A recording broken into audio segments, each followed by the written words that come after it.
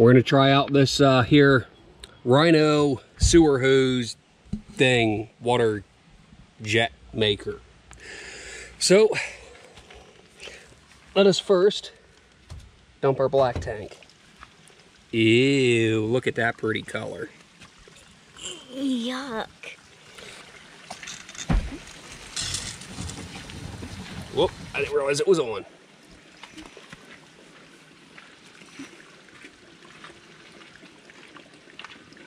Oh, that stinks. Yes, it does stink. So you can see this stuff. This is the first time ever using this. You can see the sludge that is just draining out of my black tank. And no, there's no one waiting behind me for this uh, dump station. So, you know, I can kind of take my time. So you can see where it is blasting. It's blasting water directly into that black tank there. And you can just see the sludge that is coming out of this, rinsing that thing out. a few breaths. Look at that. That is all stuff that would have stayed behind in there. You can see a lot of that sediment, uh, toilet paper, stuff like that is draining on out of here that would have been stuck in there otherwise.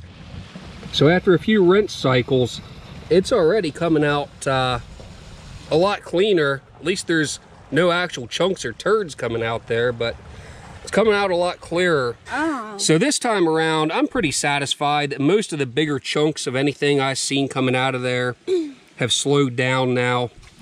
So I'm gonna just jet it just a little bit more.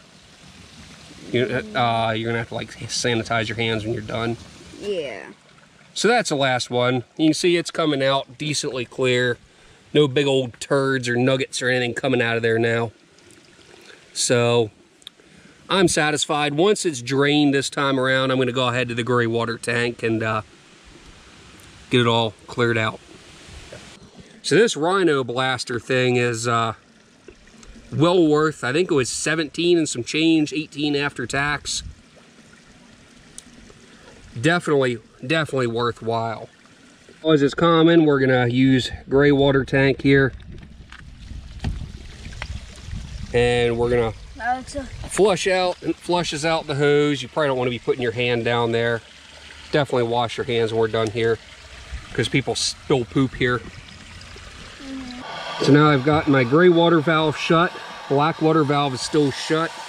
And I've just got this on jetting some water to kind of clear, clean out the slinky a little bit.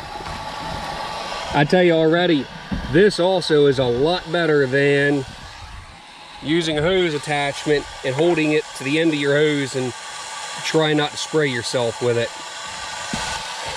Definitely happy with this. Well worth a little less than $20 that I paid for it. Very well worth it. See how that went in there, rinsed that stuff out. That would that stuff would have stayed in the black tank. Sorry for the bouncy cameras. He's like gagging and tearing up and stuff there. Ooh. Smells like dog shit. a lot of it too.